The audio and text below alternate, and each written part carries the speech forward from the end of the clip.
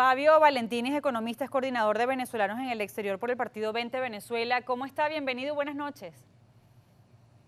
Buenas noches, Carla. Gracias por la oportunidad. No, gracias a ustedes por atendernos siempre. Quiero comenzar con esa impresión que, se ha llevado después de la incautación de estos 81 vehículos, pero sobre todo, más allá de, entender cómo opera este esquema de corrupción que Raúl Gorrín sigue eh, manejando aún dentro de Venezuela, aún con acusaciones aquí en los Estados Unidos, el propio oficial de Homeland Security decía, lo más frustrante es que este hombre que está acusado sigue eh, manipulando nuestro sistema financiero sentado allí en su jaula de oro eh, en Venezuela, saqueando a un país, desplumando las riquezas de un país que muere de hambre. Pero, ¿cuál es la lección de esta jornada del día de hoy? ¿Qué les queda a ustedes? La primera premisa de esto que se ha dado a conocer, Carla, es que las sanciones no son suficientes no son suficientes porque no estamos enfrentando un conflicto convencional. Si esto se tratase de un conflicto convencional, la rudeza de estas sanciones ya hubiesen de una u otra manera asfixiado las cúpulas del poder.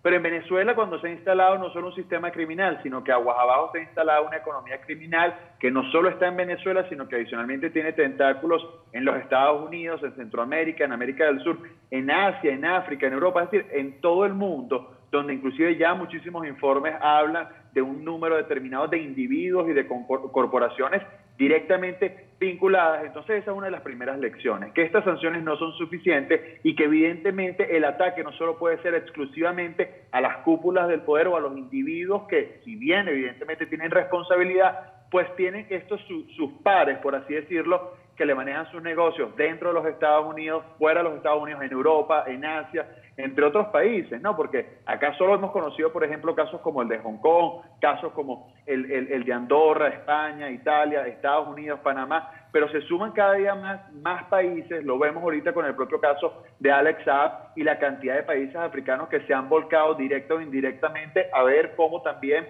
lanzan un salvavidas al, régimen chavista. Por lo tanto, esta es para mí, eh, en lo personal, la primera gran lección que está teniendo y constatación, a mi criterio, que está teniendo la administración de los Estados Unidos al momento de enfrentar directamente un sistema criminal que ha desarrollado una economía criminal global y que evidentemente tiene que enfrentar en diversos talentos.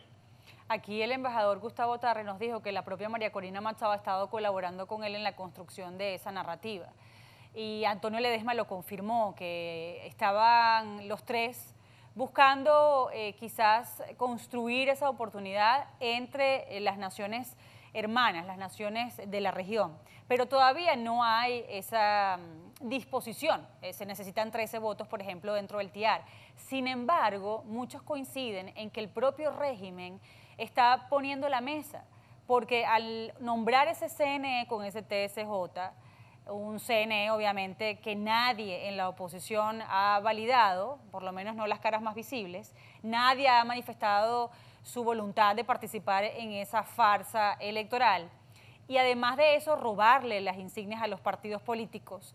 La actitud de, reciente del propio ministro de la Defensa, de Maduro, de decir que la oposición jamás tendrá opción. Es como una contradicción. Yo convoco elecciones como régimen, pero al mismo tiempo mi ministro de la Defensa te está ratificando que es una pantomima. Entonces, ya con esto, ¿usted cree que hay alguna nación que se atreva a decir que aquí hay un diálogo entre dos partes y que puede haber una salida pacífica y electoral en Venezuela? ¿Con qué argumento? ¿En qué lo van a basar?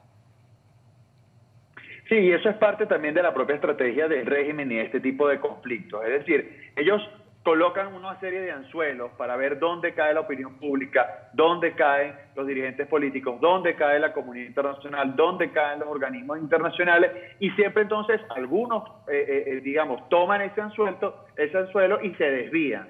Y por eso es que entonces, y, y esas desviaciones inclusive llevan a considerar aspectos como los que hace algunas semanas se llegaban a debatir en Venezuela en relación al, al, manejo de la pandemia, donde son mínimos reductos o mínimas victorias donde el régimen no solo se adelanta en legitimidad, sino sobre todo en el recurso que más necesita, que es tiempo, y esto, y esto lo sabemos. Entonces, el, mensaje sobre todo frontal a dirigir a la comunidad internacional y sobre todo a los aliados de Occidente que empiezan a comprender, muchos ya lo sabían con antelación y hoy sobran hechos que constatan la dimensión de este conflicto, es precisamente entonces cómo equilibrar y cómo de una u otra forma terminar de avanzar en la presión absoluta de cara a este sistema que por demás está decirlo, no solo genera una estabilidad en el hemisferio occidental, ya tenemos las pruebas de Black Lives Matter, ya tenemos las pruebas del financiamiento a partidos europeos como Cinque Stelle en Italia, como las vinculaciones directamente con España, pero acá están personas inclusive involucradas de países como Hong Kong,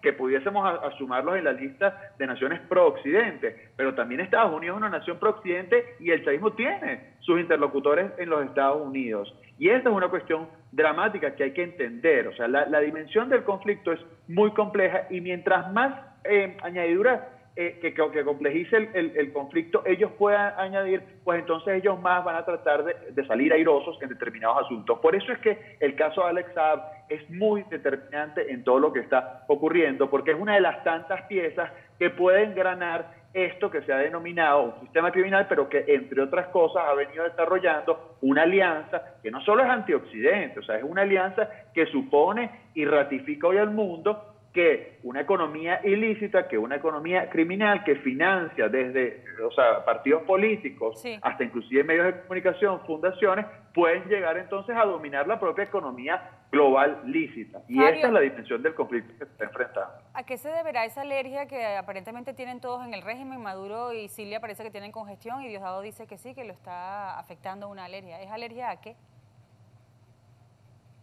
Bueno, yo creo que es alergia a saber que muy probablemente de Cabo Verde salga muy pronto una persona que va a desenmascarar no solo a líderes que hoy ya se sabe cuál es, cuál es su relación y cuál es su proceder de cara a la justicia internacional, sino muchos otros que van a terminar de configurar esto que te he venido contando. Eh, yo estoy en Venezuela, tú lo sabes, Carla, y, acá la desinformación es una política de Estado. Acá, como antes te decía, si bien ellos colocan este tipo de anzuelos para que eh, eh, ustedes que están en, el exterior también puedan de una u otra manera pues evidenciarlo. En Venezuela, acá lo que se ha instalado es nuevo mecanismo de control social a partir de la, de la pandemia, lo que se va a venir evidentemente con la incautación de estos cuatro buques con, gasolina y el nuevo pretexto acompañado de la guerra económica, acompañada seguramente de maximización de, cifras o inclusive la incertidumbre de las cifras reales de personas que puedan estar infectadas o eh, eh, ya fallecidas por, por el virus, aunado a la escasez de gasolina y lo que terminará siendo, bueno, la, la el asfixia a una nación que esta semana pudimos corroborar a través de un estudio de, universidades nacionales que el 96% está sumida en la pobreza. Esa es la realidad y la, imagen que hoy tenemos en Venezuela. Muchísimas gracias a Fabio Valentini, economista, coordinador de venezolanos en el exterior por el Partido 20 Venezuela. Voy a hacer una pausa. Atención padres, vamos a hablar de los pederastas, de los pedófilos, del MAP, de ese Minor Attracted Person, de ese movimiento espantoso que afortunadamente no ha tenido no ha calado en solicitudes incluso de cambiar leyes para el consentimiento sexual, para que no sea una enfermedad querer tener relaciones sexuales con un menor de edad. De todo eso a lo que ustedes deben estar muy atentos con un especialista a la vuelta de publicidad.